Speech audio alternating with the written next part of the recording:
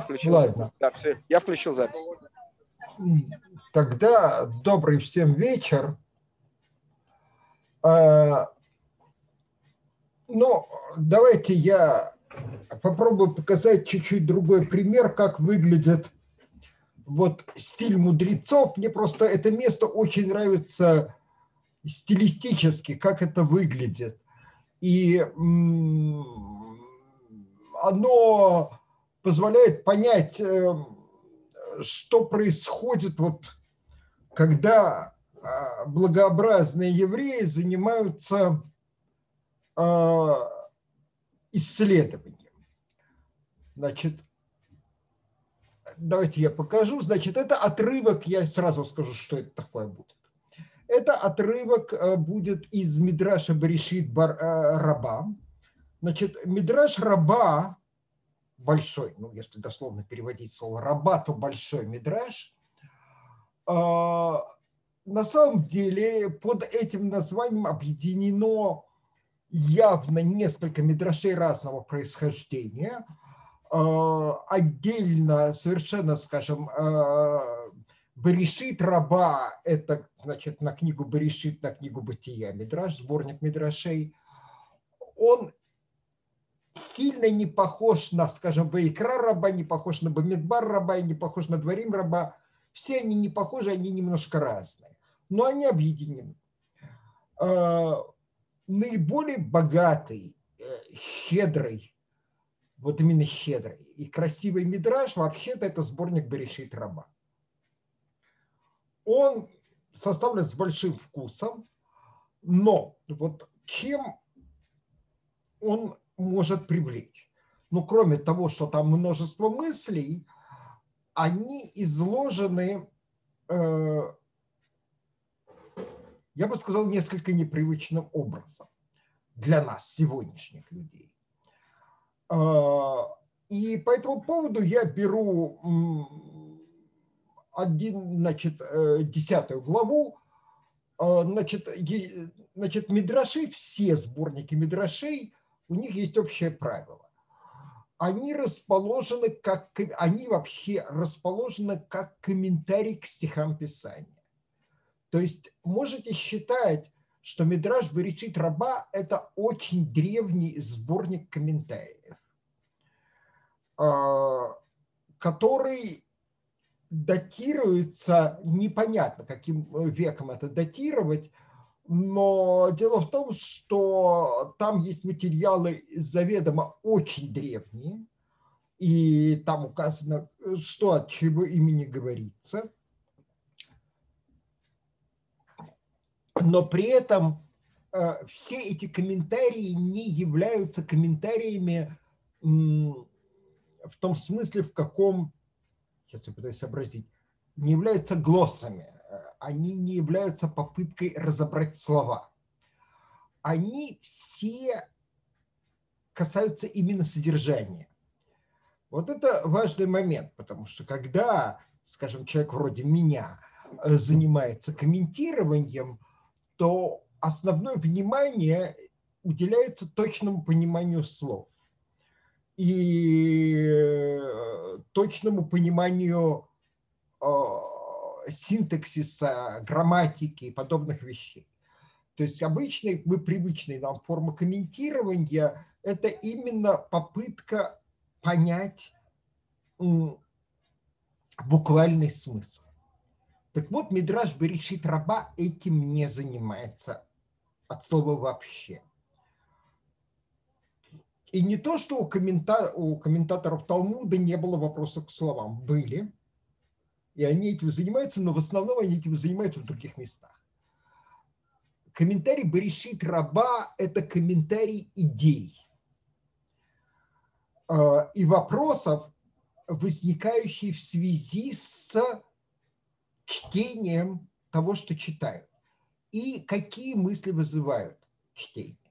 Вот теперь после вот этого предисловия я его сворачиваю старательно, как ну, мои учителя не очень любили теоретические рассуждения, а любили вот конкретно переходить на конкретных примерах.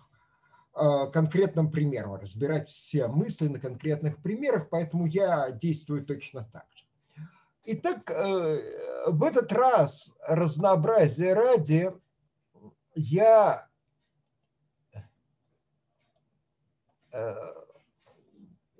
на русский язык все это перевел.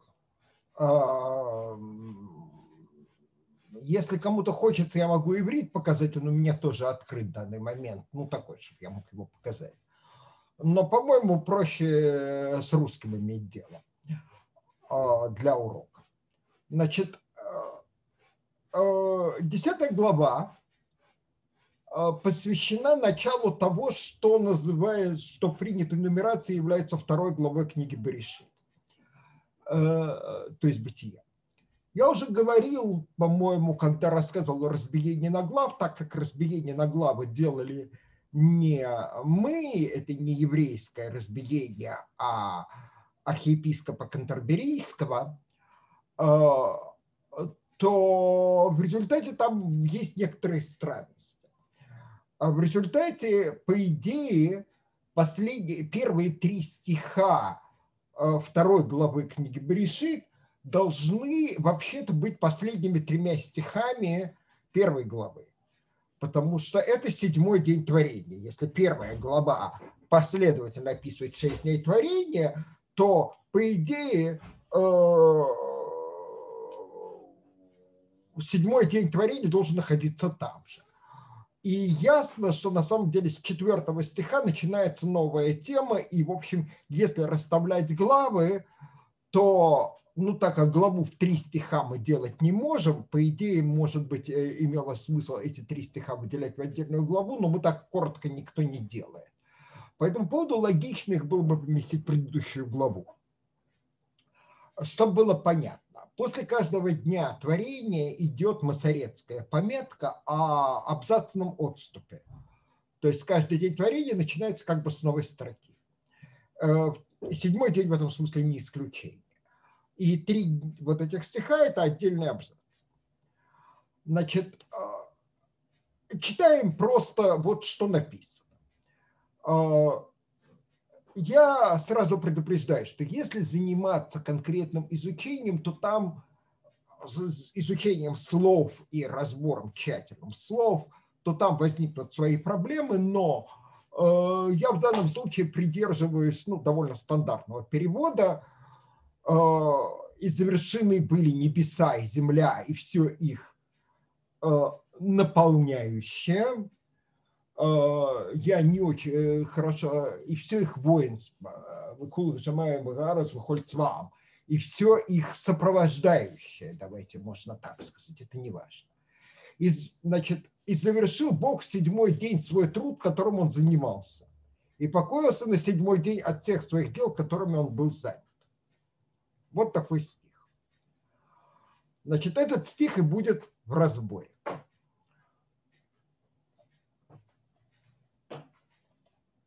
Вот отсюда. Раби спросил о раби Ишмаэля, сына раби Йоси. Слышал ли ты от своего отца, что значит и завершил Бог седьмой день? Это странно. значит, итмаха, вызывает вопрос. Э, так как в те времена знаки препинания еще не были придуманы, то поставить просто вопросительный знак никто не мог, э, а поэтому ставится слово, знак вопроса. Фраза вызывает э, сомнение. И вот почему, я сразу скажу, в чем сомнение здесь. В чем проблема? Проблемы те, которые указывают, например, Раши в этом стихе, э, что завершил в седьмой день, означает, что в седьмой день какие-то работы делались. И их завершили в седьмой день. А, но написано э, и отдыхал в седьмой день что составляет внутреннее противоречие. Либо совершил, либо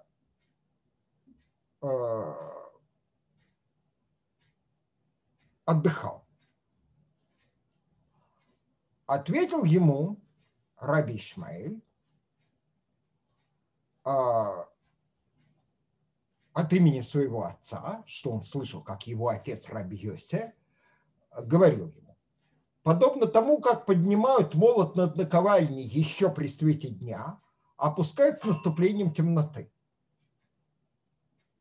Это весь ответ. Вот что было понятно. То, что сказано, это и есть ответ на вопрос.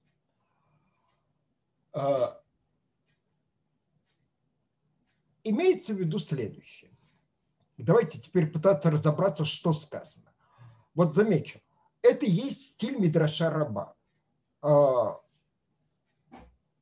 очень короткий ответ, без предисловий, без отступлений, без э, попытки э, развести как можно больше, э, развести слова, а вот сказал и понимаешь, что тебе сказано. А, при этом мыслит картинками вполне себе.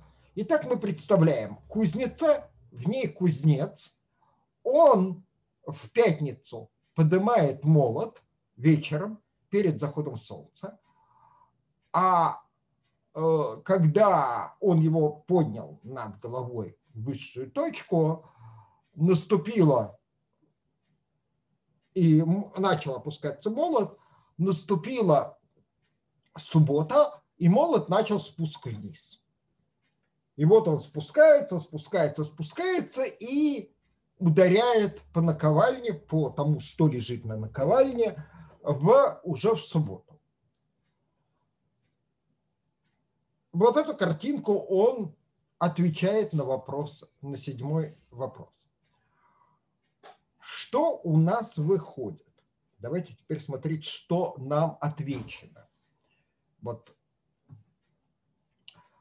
А, отвечено следующее, что, собственно, молот опускается, вот то, чему меня, например, мои там, родители, мой папа учил, что когда забиваешь гвоздь, то не надо бить рукой, а бьет сила опускающегося молотка. Вот попытка бить рукой – это ошибка. Бьет молоток, а не ты. А ты просто ему направление указываешь, чтобы ударить точно по шляпке. А, то есть как бы моих сил в удар ну вот, если пример с, с гвоздем и молотком, не вкладывается. А точно так же кузнец, когда опускает молот, он не бьет изо всех, он не бьет своей силой, он бьет силой тяжести вторым законом Ньютона. А, массу умножить на скорость падения ускорений, а, свободного падения. Теперь к субботе.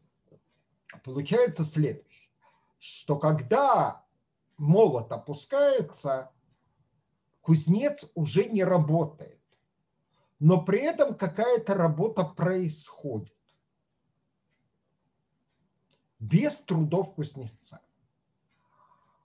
А,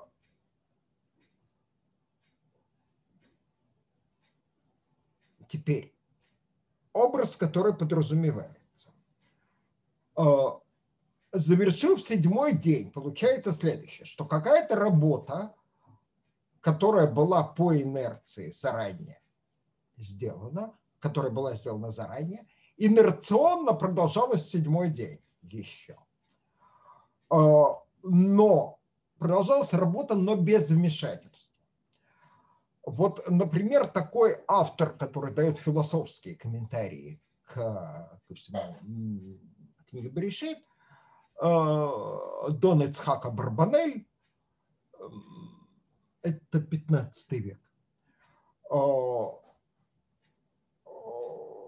по этому поводу говорит, у него вот любимая концепция выглядит следующим образом. Седьмой, с седьмого дня в мире стали действовать законы природы. А до этого в мире действовали не законы природы, а произвол Всевышнего. Что он хотел делать, то в нем и делал. С момента, когда мир был создан, то есть суббота, это наступление, вступление в силу именно законов природы. Никаких вмешательств. Как бы. Ну, кроме чудес, но это одноразовое такое событие, одноразовое событие. Никаких больше чудес. Законы природы. Вот это и есть образ летящего молота.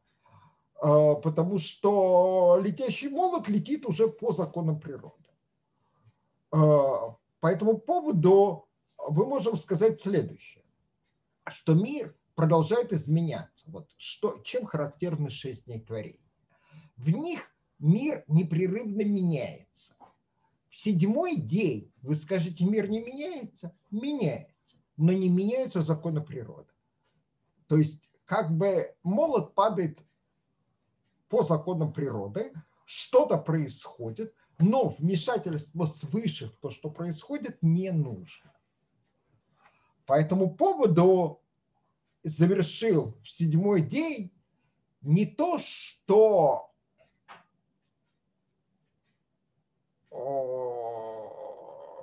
никаких событий больше в созданном мире не, не происходит. Происходит. Но Бог в это может не вмешивается. Все заготовлено заранее. Вот шесть дней произошли заготовки. Э, на самом деле, на мой вкус, здесь есть еще один комментарий, и он всюду неявно э, предполагается.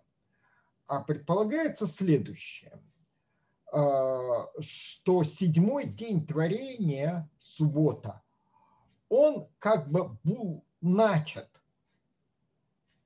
Вот когда начат, и продолжается до сих пор. То есть э, суббота, о которой говорится в начале книги Берешит, э, это суббота и есть наш мир. Это суббота Всевышнего. Э, вот это то, что здесь предполагается. Опять, я хочу здесь заметить. То, что я сейчас привел, естественно, это я домысливаю то, что здесь сказано. Это дом Эцхака Барбанель домысливает то, что здесь сказано. А то, что написано, это то, что я зачитал. Вот все, что есть, это то, что здесь написано. А, по-моему, мысль достаточно прозрачна. Но обратите внимание, и это стиль мидрашей практически всех классических мидрашей. Мидраш говорит фразу, которая как бы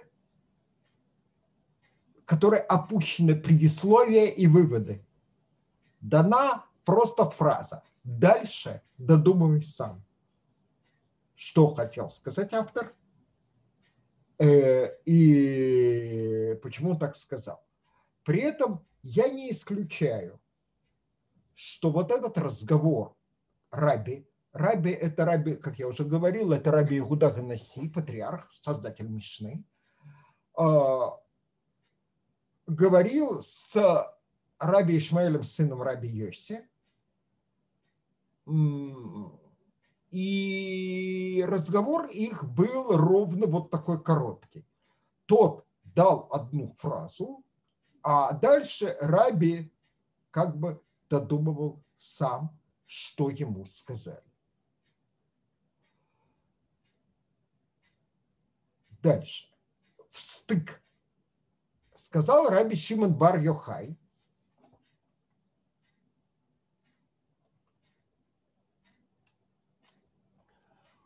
человек, да, значит, замечу, в изданиях и в рукописях Бричит Раба э, я читаю один параграф, нет разделения на абзацы. Разделение на абзацы сделал я сам просто для удобства. Обычно все идет в стык, идет сплошной набор.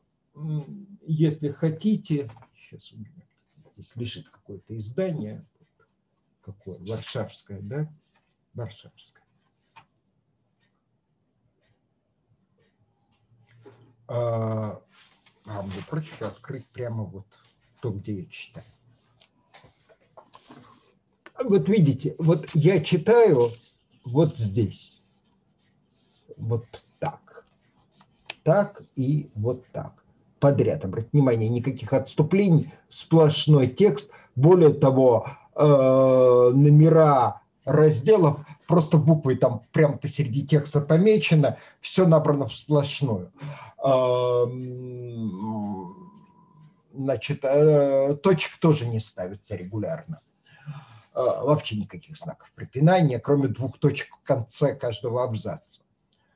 Э, не абзаца, а главы. Значит, сказал Раби Шимон бар -Йохай, человек плоти и крови, который не умеет точно определять время, мгновение и часы, добавляет от будни к, святы, к святыне из-за сомнений. Но святой благословен он, который умеет точно определять время, мгновение и часы, не вошел или не вошел в субботу даже на волосок. Я не буду сейчас заниматься конкретным разбором фразы, почему именно так э, переводить надо. Значит, опять, вот я напоминаю, Раби Шимон бар Йохай отвечает все на тот же вопрос Раби. Э, как это завершил работу в седьмой день, если в седьмой день отдыхал? Раби Шимон бар Йохай говорит следующее, что по правилам, вот теперь он ссылается просто на Галаху. По правилам субботу положено начинать за некоторое время до наступления астрономической субботы. Потому что, ну вот если у человека нет часов, то когда начинается день? Когда наступает новый день и когда наступает суббота? Ответ – когда темнеет. Когда темнеет, это несколько раз расплывчато. По этому поводу, э, ну, скажем, в восточноевропейских общинах, в русской общине, например, принято э, начинать субботу за 18 минут до ее реальной начала и кончать ее через 18 минут после ее конца. Добавляется 18 минут спереди и сзади. В Иерусалиме, например, субботу начинают за 40 минут до ее начала. Это старый Мингак Ярушалме. А дальше э, по местностям, вот, э, по-моему, в этом самом в Галиле принято начинать за 24 минуты, что-то такое. А, то есть, ну, вот это вопрос обычаев местных. А, но обычно где-то вот э, это время, 18 минут, связано там. А, исходит из того, что человек проходит один километр за 18 минут ну, миль, талмудическая миля, она очень близка к километру. Почти точно. А, значит, а, теперь, по этому поводу, что говорит Раби Шимон бар -Йохай?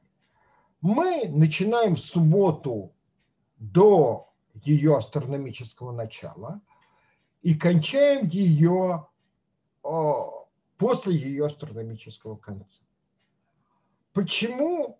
Потому что у нас есть сомнение, когда на самом деле точно начинается новый день. Там э, есть несколько разных мнений по этому поводу, есть колебания, вот э, так как день начинается не по часам, а по положению Солнца и положению звезд, то там есть возможность ну вот для того, чтобы было понятно. Как известно, когда говорят слово «сумерки», то ведь наука, она хочет точных определений, что называется сумерками. Значит, различают сумерки световые, заход солнца, гражданские, когда еще можно читать, астрономические, когда читать уже нельзя, и навигационные – это когда видны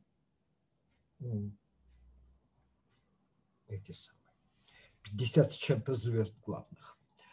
То есть как бы есть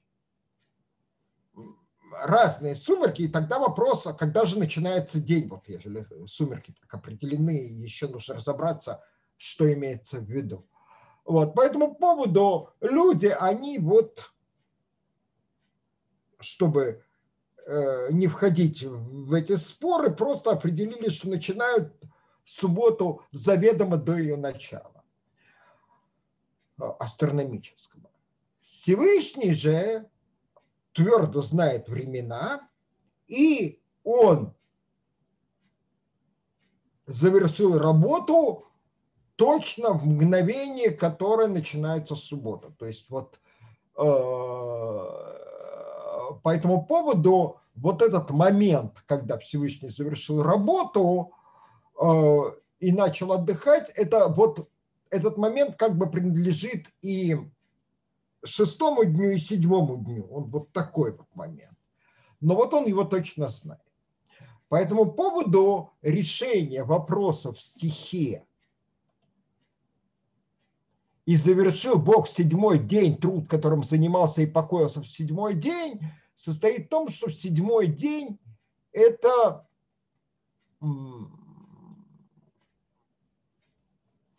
значит,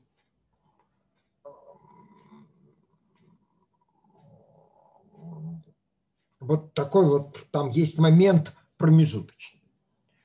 То есть его нет на самом деле, но вот. э, для математиков сечение Дедекинда. А, вот. Да. А, тут же эта тема продолжается. Третье мнение. Гнева и Рабонан. Гнева – это имя.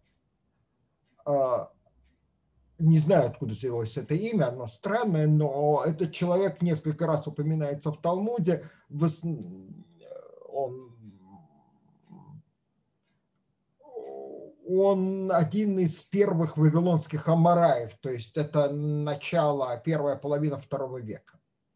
О, третьего века, я говорил, первая половина третьего века.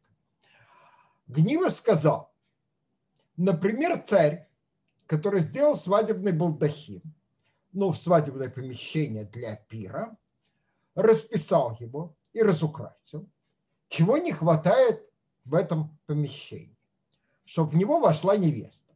Подобным образом, чего не хватало в мире субботы. А,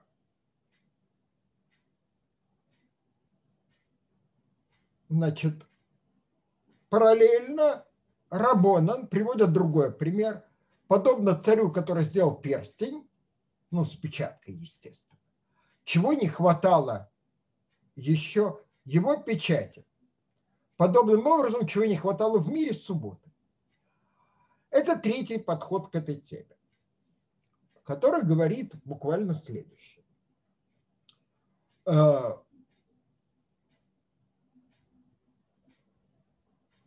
Опять, мы решаем, вот этот мидраж снимает противоречие. А, каким образом в данном случае он это делает? Очень просто. А, царь, вот пример гнивы, сделал роскошное помещение для свадьбы. Можно ли считать, что все сделано? Ответ все сделано – это когда там появится невеста. Вот это появление невесты делает работу завершенной. Вот как человек, который входит в свадебный зал, где собираются сейчас начать свадьбу, и завершил ли он работу по подготовке. Там, вот отец, который готовился к свадьбе дочери или сына, входит в свадебный зал, зал торжеств, и осматривает вот пустой совершенно зал, где все расписано, накрыто, цветы стоят, никого нет, можно ли считать работу завершенной? Когда он облегченно вздыхает, работа завершена. Ответ, когда входит невеста. То есть, как бы э,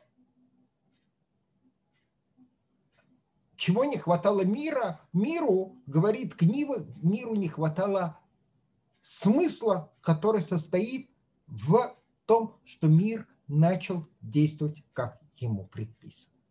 По этому поводу завершил работу вот в тот момент, когда наступил покой, когда ничего уже делать не нужно. А, можно отдохнуть, можно присесть и покурить трубочку – это и есть завершение работы. Когда происходит завершение работы? Когда мастер садится и бездельничает. Когда работа принята и используется по прямому назначению. Мудрецы на самом деле говорят, подобно царю, который сделал перстень печатью, то же самое. Они говорят следующее, что чего, печать – это чего не хватает. Пока печать новенькая, перстень с печатью, пока печать новенькая, и ей не раз пользуются, она еще не сделана. Она сделана в тот момент, когда ее первый раз опустили и поставили печать. С этого момента печать стала печатью. До этого это новый предмет. Вот теперь опять э, что не хватало миру? Ответ – его использование по прямому назначению. Суббота, с этого момента мир предоставлен себе, вещь готова. В тот момент, когда Творец садится отдыхать, это и есть, а вещь начинает работать, с этого момента это и есть и завершил работу, и отдыхал. То есть отдыхал, это означает работа завершена. Поэтому нет противоречия. Но дальше следует фраза, которая демонстрирует на самом деле, что происходит. Вот то мое предисловие длинное, которое было, оно вот к этой фразе Мидраша.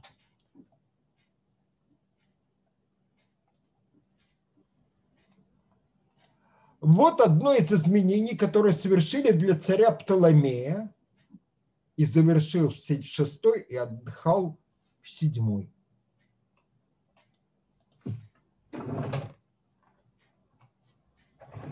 А, да, значит, рассказ, э, который здесь вот, рассказ полностью этот про царя Птоломея, он в Талмуде приведен в трактате Могила, и там э, рассказ выглядит так, что когда царь Птоломей собрал 70 э, мудрецов Израиля с тем, чтобы они перевели для него Тору, то известно, что в экземпляр царя Птоломея было внесено несколько изменений против прямого смысла стиха. То есть в переводе был исправлен – для того, чтобы у царя Птоломея не было вопросов. Птоломей имеется в виду египетский, естественно, царь. Э, для тех, кто не помнит истории, э, после войны Диадохов, э, то есть после распада империи Александра Македонского, эм, Святая Земля провинция Игуда отошла к египтянам, к Египту, ну, Алекс, греческому, эллинистическому Египту, династия Птоломеев. И она перешла к Сирии, потом, вот незадолго до начала Маковейских войн, ну, незадолго, два поколения, но она долгое время находилась под властью именно Египта. Значит, и э, известная история, с которой, в общем, начинается рассказ о Септуагинте, то есть переводе э, Торы на греческий язык, э, Септуагинта дословно это перевод 70, если вот перевести название с греческого на русский. А есть мидраши, серия мидрашей про этот перевод, еврейских мидрашей, о переводе 70. И среди прочего, есть, э, существует список, который был в первоначальном экземпляре сделан э, для царя Птоломея изменений по сравнению с оригиналом. Э, этот список несколько раз в разных местах Талмуда приведен. Замечу, что ни в одном экземпляре Септуагинте, ни в одной рукописи, известной рукописи, таких изменений нету. То есть дошедшие до нас варианты перевода 70 исправлены, э, это либо другие переводы, либо они исправлены и возвращены к первоначальному тексту. Э, в основном это связано с тем, чтобы вот э, эти исправления были связаны с снятием явных противоречий при чтении буквального смысла. А именно, какое исправление было сделано в этом месте и завершил в шестой и отдыхал в седьмой. То есть второй стих. «И завершил Бог в седьмой день и покоился на седьмой день» в, в варианте, который был предоставлен царю Птоломею, и завершил Бог в шестой день свой труд и покоился в седьмой день. А,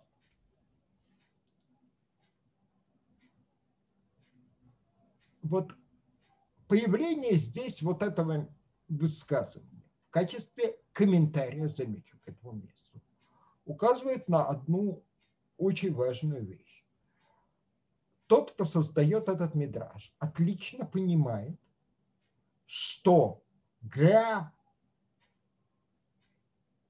читателя, который не знаком с еврейской традицией, эта фраза выглядит внутренне противоречивый.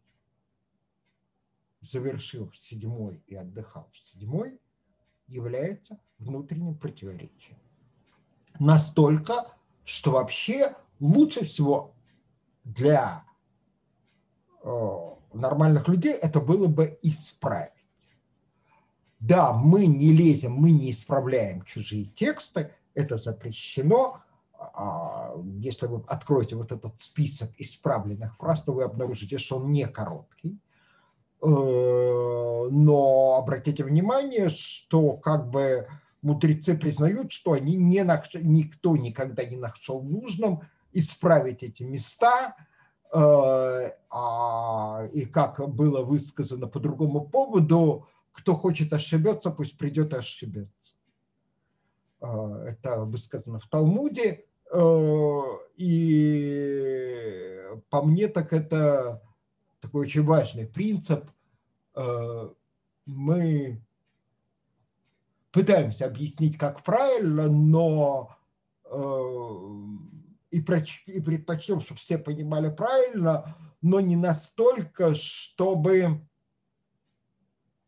предпринимать какие-то действия, чтобы никто не мог ошибиться. Кто хочет ошибаться, пусть ошибается. Вот, по мне, так это очень важное правило, э, но я подчеркиваю, что в данном случае Мидраж просто поставил вот эту фразу, что здесь внесено изменение для Птоломея, для царя Птоломея, просто говорит, что вообще-то э, эта фраза для неподготовленного человека содержит такие проблемы. ошибкой. Чем все это хорошо? Предложено, значит, в данный момент три основных комментария для снятия противоречия. Один говорит, что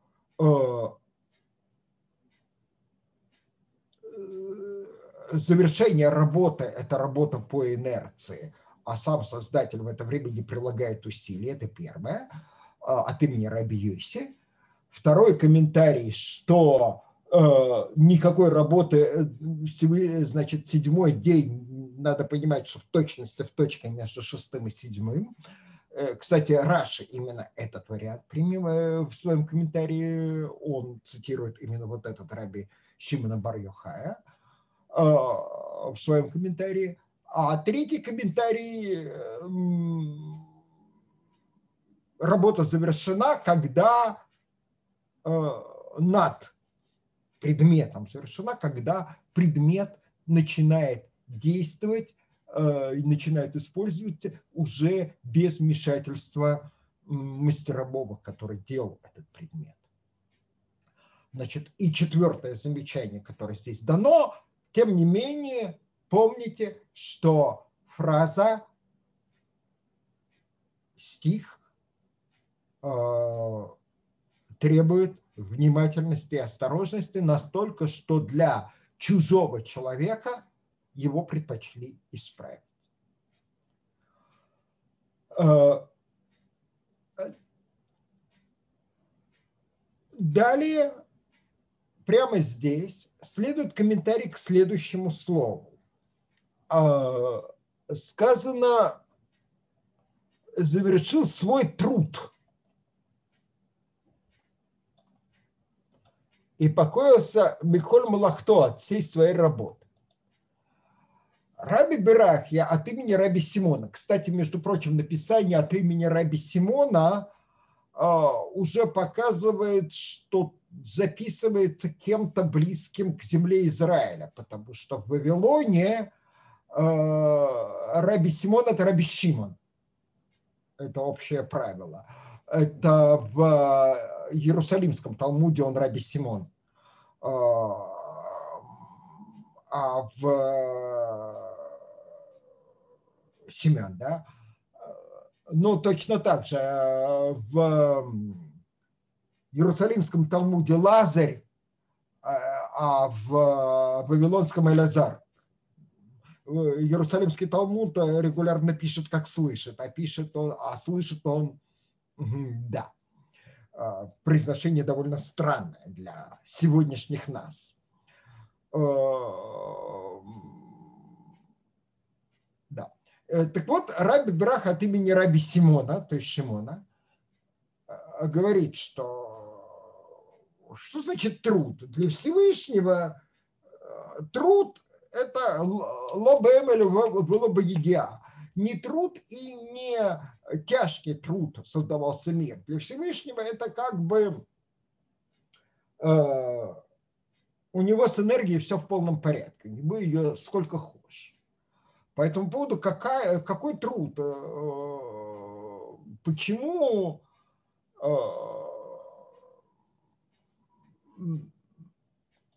ты здесь употреблено такое слово, а ты говоришь свой труд, завершил свой труд. Это странно, опять то же самое, это вызывает вопрос. Э, вообще надо сказать, что э, заявление, что слово «млаха» э, вызывает вопрос, как бы, но понятно,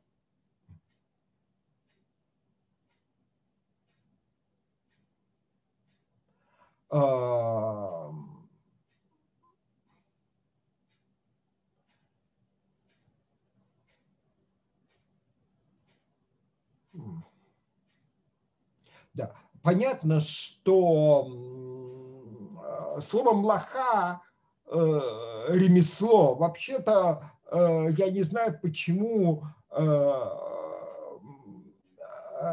Раби Симон вдруг слово «млаха» стал понимать, как э, егиа, эмель в егиа. Эмель – это э, тяжкий труд, который приносит страдания, такой вот э, подвыжимательный. В ЕГА это, ой, ну, как бы это сказать, ну тоже, я слово пытаюсь подобрать. Ну, опять тяжелый труд такой, спот труда. А млаха – это вообще-то ремесло. А если учесть, что Всевышний творит мир словом, то это, а это общее место. И с этим никто не спорит. Э, то какие же труды? Э, тем не менее, и тогда что же боять, что же завершать? Продолжай говорить, тоже мне труды ответ совершенно неожиданный, который у нас подобный ответ есть в Мишне в Перке вот, а именно для того, чтобы взыскать со злодеев, которые уничтожают мир, созданный тяжкими трудами, и даровать добрую награду праведникам, которые утверждают мир, созданный тяжкими трудами. Вот этот ответ э, надо просто очень аккуратно понимать. Имеется в виду следующая вещь. Раби Симон утверждает, что написанное слово «труды» Малаха, в котором понимает значение Эмель Ваидия, да, ну вот чтобы было понятно, э, Киадам Эмель Юлад, э, человек рожден для или трудов, э, или для страданий, как переведено в классических переводах, этот стих – человек рожден для трудов, как искры для того, чтобы залетать вверх, для того, чтобы лететь вверх. Вот. Или человек рожден для страданий, чтобы как искры взлетать вверх. Там блестящая совершенно фраза, это с книги Йова. Но вот этот Эмель, который э, может быть страдания, а может быть труды, и так, и так. А, оно вот такое вот. Словом лоха, так понимаемое Раби Симоном, что как бы мир создан в трудах. Всевышний долго трудился. Но он отвечает, это удивительная вещь, потому что Раби Симон в данном случае отвечает, не комментируя события Писания, а комментируя, что имеет в виду Писание, когда обозначает это так а именно сказано, что Всевышний трудился над миром для того, чтобы ты уважал его труд и действовал в соответствии, как он тебе сказал.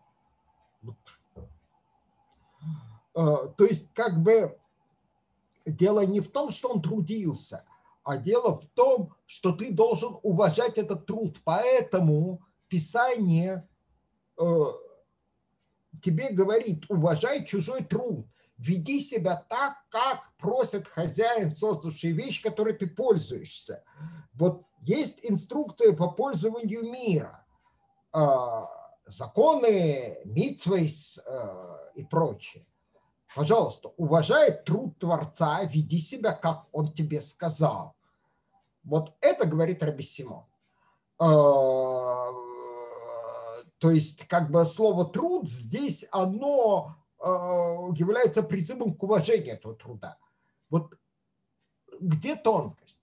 Если до этого все комментарии, три комментария, которые говорили о отдыхе и работе э, в седьмой день, комментируют фактически описанные события то Раби Симон говорит не о событиях, которые были, а о том, что почему Писание выбирает такие слова. Он говорит, что Писание, когда говорит, что Всевышний отдыхал от трудов, то есть он трудился шесть дней, оно призывает и угрожает, уважать его труд, и праведники получат награду за уважение труда Творца, а злодеи получат наказание за неуважение к трудам Творца. А, то есть как бы Раби Симон говорит, не о комментарии событий текста, а о морали, которая лежит за этим текстом. Вот это, я не знаю, насколько ясно я объяснил разницу между смыслом и моралью, между содер... событиями и моралью. Но мысль, которая здесь, она вот эта.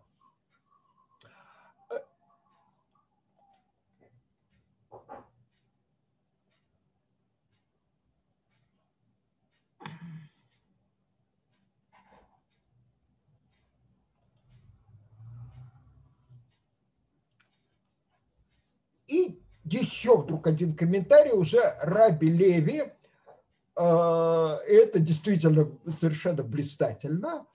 Э, Коли Всевышний отдыхал, то он вроде и говорит, что он завершил в седьмой день работу. Это означает, что в седьмой день все-таки что-то было создано. И это возвращение к исходной теме. Что же было все-таки создано в седьмой день? И отвечает Раби Леви, э, значит, отвечает Мидраш анонимно, без ссылок, беззаботность, шан, э, это, э, это именно беззаботность. Для тех, кто живет в Иерусалиме, Мишканот Шананим, этот самый, напротив стены старого города, уже за Тамвади, есть довольно там, конца, по-моему, 19 века постройки, совершенно роскошные, кстати, э, которые были построены для тех, кто хочет покинуть старый город и поселиться вне его из-за дикой скученности в старом городе. Э, никто не хотел, ну, во-первых, потому что надо было жить за крепостными стенами, что небезопасно. Э, по этому поводу сдавалось безумно дешево. Это был такой сионистский проект. А, значит, и по этому поводу э, вот этот поселок назван жилищем беззаботных. Те, кто не волнуется о том, что их ограбят, и дело в том, что это еще и был безумно дешево. То есть злые языки рассказывают, что даже приплачивали тем, кто согласился там жить, потому что все-таки брошенные дома – это совсем уже плохая мысль. Поэтому выгодно было даже приплатить. То есть злые языки утверждают, что еще и приплачивали тем, кто там селился в начале. Сегодня, да, в этом районе жить э, никаких денег не хватит. То есть мультимиллионеры только могут там себе позволить что-то купить. А, естественно. С видом на это самое, стены старого города, ничем не закрытые. А, значит, а, значит, покой, умиротворенность, шекет – это тишина, но такая тишина, которая э, в библейском иврите слово шекет еще означает безопасность. По этому поводу Раби Леви от имени Раби Нагарая, Нагарай – это тот же Раби Мейер. Утверждается, кстати, что первоначальное имя Раби Мейера, исходное имя при рождении, его имя Нахурай. Нахурай – это свет, светоч, так же, как и Мейер. Э, Раби Леви от имени Раби, Раби Нахурая говорит, что все время, пока Руби Творца работали над миром, а когда и растягивал, и мял, а когда он прекратил, наступил покой, то есть как бы в тот момент, когда, а, если грубо говорить, тот момент, когда тесто посадили в духовку, оно, наконец, узнает, что такое покой. И это есть создание седьмого дня. То есть как бы э, до этого мир не знал покоя, он непрерывно э, э, страдал, и, ну и так далее, э, от того, что его все время втягивали и вытягивали. Но э, последний отрывок в том же сборнике, в том же параграфе, э, я на тему борцов за чистоту иврита э, специально не стал исправлять два латинских слова, которые стоят здесь. Сейчас, когда делает астатива, человек не дает донатива, а когда дает донатива, не делает астатива. А, донатива, кстати, слово все знают, это донат. Да? Вот в современном языке донат – это плата, подарки, добровольные, доброходные дары, да? В интернете принятое слово, это вот оно и есть, не делает подарков. То есть, когда, когда человек делает астатива, он не дает подарков. Астатива – это тоже латынь, и это э, постановка военного лагеря на отдых. То есть, когда военным, э, когда в военном походе дается, поход, дается день отдыха, то это само по себе подарок, а поэтому с чего им еще и подарки дарить? Итак, э, подарок, он отдыхайте, ребятки. По этому поводу либо подарки, либо отдых. По этому поводу а, говорится, что не так у Всевышнего, он у нас отдыхал и благословил, то есть дал миру а, отдых и в то же время благословил, то есть даровал дары. Это еще один такой комментарий, который опять э, можете подумать, потому что что такое благословил применительно к рассказу о творении, а именно к пятому и шестому дню, где сказано благословение, да, э, есть о чем подумать, что имеется в виду под этими благословениями. Э, ну вот где-то так. Вот теперь то, ради чего мне показалось, что это будет правильно рассказать. Э, вот это многочисленный разброс мнений. Э, вот что Мидраш, чем Мидраш хорош? Он ничего не, не заметает э, под ковер.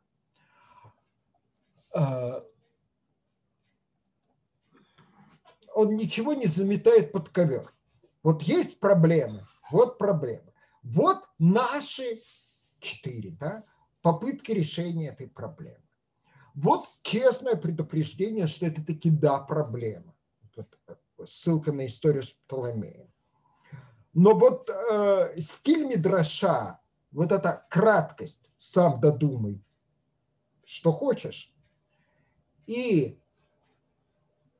какая-то запредельная откровенность, и многообразие мнений. Э, по этому поводу, что когда э, про евреи рассказывают анекдоты Тесара тоже права, я надеюсь, все его знают, то вы сами понимаете, почему э, Раби готов понять, что все правы. Потому что он на этом вырос он на этом вырос. А, и по идее все евреи на этом выросли. А, что и создает некоторый специфический образ, способ мышления. Потому что даже те, кто это не учил, все-таки их родители тогда это учили. И в семье вот это разнообразие мнений, оно как бы на автомате продолжает существовать. Э, вот это вот спокойствие к тому, что ответов много разных на разные темы э, и стиль мышления вот например, вот, вот, вот так в Мидраше. То есть, обратите внимание, в Мидраше на самом деле, если приводится спор, есть Мидраше, где приводятся споры, то эти споры тоже всегда есть место этому, есть место этого. Они никогда не бывают категоричными, эти споры. Они всегда как бы, ну, умно говорить слово диалектичное, но не хочу влезать в эту тему. Вот. Засим я собираюсь прекратить дозволенные речи. Если есть вопросы, допускающие краткие ответы, я готов на них ответить. ответить. А, я вот заранее говорю, я читаю Григория и Таня продолженное время из английской грамматики I have been working Ваихаль э, это не I have, это, это скорее наоборот, это не continuous, а, а perfect, плюс к вам перфекту, завершенное время.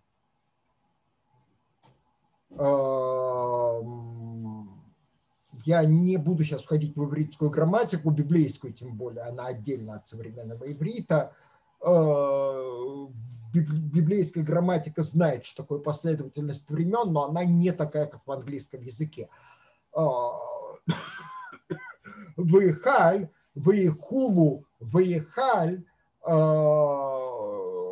это вот это вопрос, является ли это уф, а, для библейского иврита более точно говорить, что глаголы совершенного и несовершенного вида, которые в Ихуму это и были завершены, но это несовершенный вид. То есть это, это не, не континуусами и перфектами, это передавать неправильно. Это по-другому надо делать. Я не буду сейчас входить в это. Это слишком ну, профессиональное обсуждение. Пошли, которые ну, лишнее это объяснять, по-моему. Э, поэтому э, present perfect continuous. Нет, нет, это скорее, я бы сказал, что это perfect, скорее всего. Okay. Мне кажется, что это не перфект, это вообще здесь речь-то, я понимаю, что библейский иврит... Это страдательный перфект.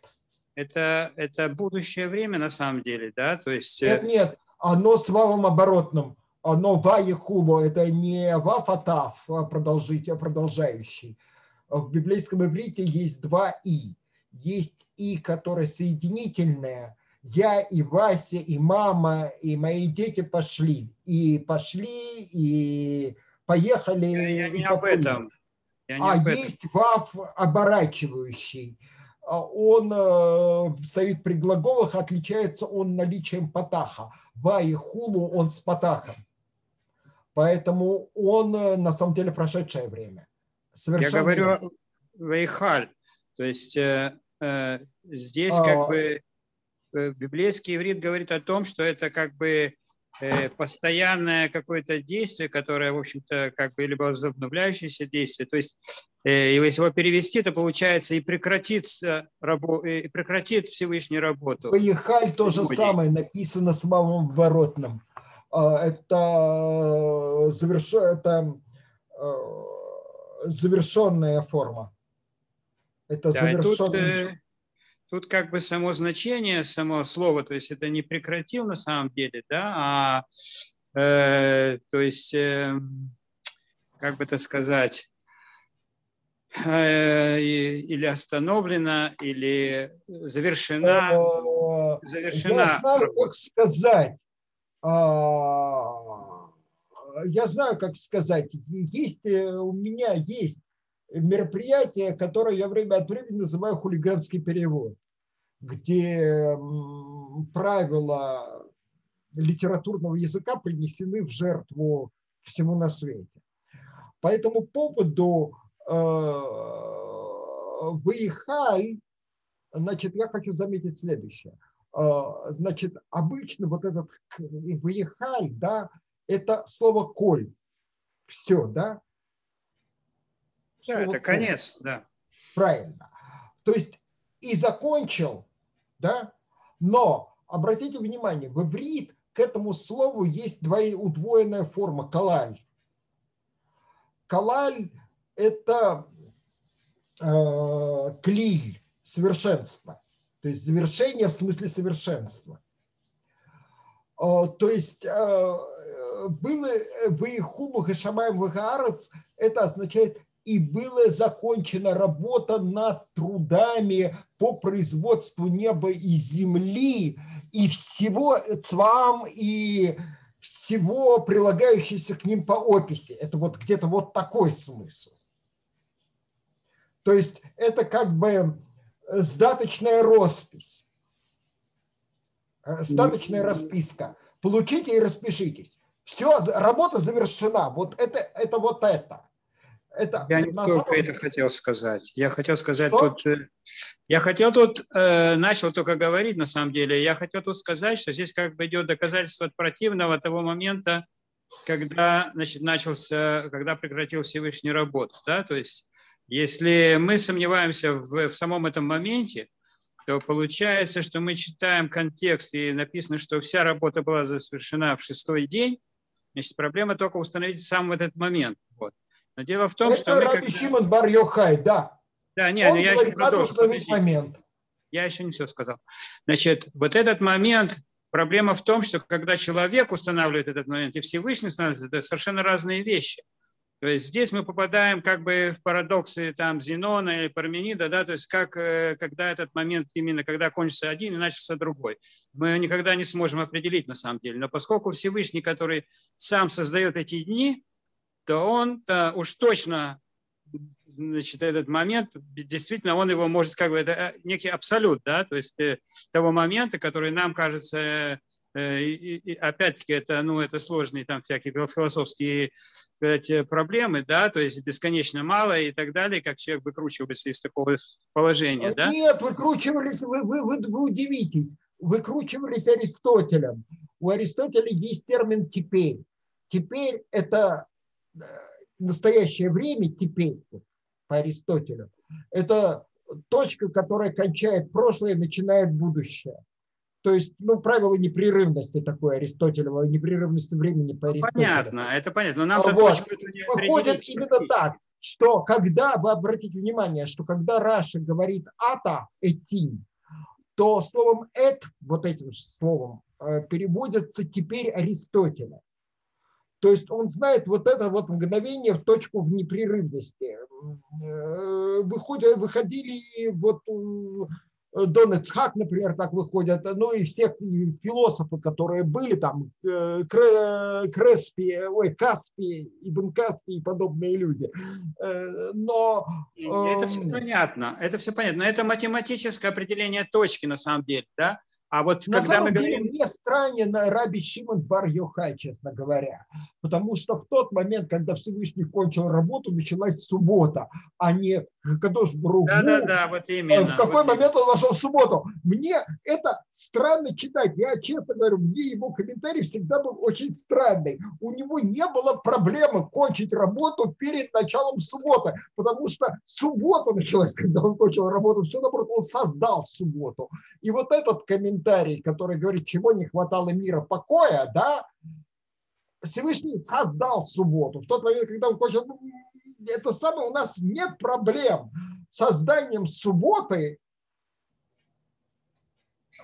Проблема галахическая. Кончилось создание, да, я понимаю, получается внутреннее противоречие некоторое, потому что звучит парадоксально. Созданием в субботу кончилось создание, но это... Да-да-да. Да-да. Это, это связано с, э, с абсолютом вот, Всевышнего. То есть, э, а когда мы говорим о, о практическом, сказать, о Аллахе, то поскольку мы действительно не практически, мы никакими часами никак не можем измерить такую вот точку, да, точки не существует, она чисто в абстракции, только в мышлении существует. Из этого делается вывод, что мы должны ее начать, так сказать, э, раньше, чтобы не пропустить эту точку. Тогда это ну, да. практическое указание на то, что, в общем, как надо человеку поступать в таком случае. А он-то начал точно, да. Вот, а вот мы начинаем заранее. То ну есть ну, да. э, здесь как бы все понятно. Ну да, спасибо. Угу. Угу. Окей. Ну что ж, а, по-моему, стиль э, да, я хочу... Нет, я, я сказал, извините, Анна, а, в остальных мидрашах акцент не делает, как раз мидраши никогда не делают акцента на понимание слов. И если вы видите в мидраше спор о понимании слов, то это не, грамма, не спор грамматиков, это спор о смыслах. Мидраши никогда не, практически никогда не опускаются до уточнения смысла слов. Они всегда говорят о смыслах стоящих за словами. По этому поводу, когда вы обнаруживаете спор Мидраша о значении слов, всегда понимаете, что за этим стоит не слова. Мидраш не опускается до грамматики практически никогда. Он всегда говорит о смыслах. Все мидраши от самых ранних, Абаришит, раба один из самых ранних мидрашей. Э, раньше него, наверное, только галахические мидраши вроде Сифри. Эм, э, Мидраш очень редко опускается до этого. Если вы видите спор Мидраша о смысле слов, поймите, речь идет не о словах, а о смыслах реальности, которая стоит за этими словами. Это общее правило понимания всех Мидрашей. Исключения бывают, но они крайне редки. Вот э, это не только Берешит Раба, это характерно для всех Мидрашей. Не опускаемся до грамматики. Не принято в Мидрашах. А, ну, вот как-то так. Окей. Ну, тогда давайте прощаться до следующих, соответственно, встречи. Спасибо. Спасибо, мэр. Спасибо, спасибо, Армей. Спасибо. Спасибо. Спасибо. Так. Э, Натан, ты остановишь запись?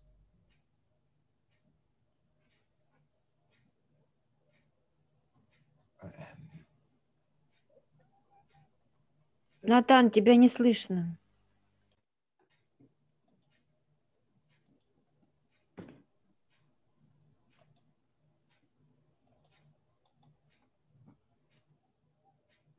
Натан, мы не слышим тебя. Может, он не нам говорит? Нет звука.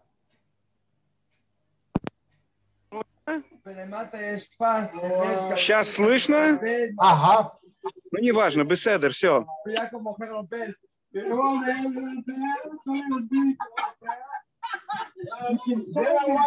Тогда всем доброй субботы. Exato.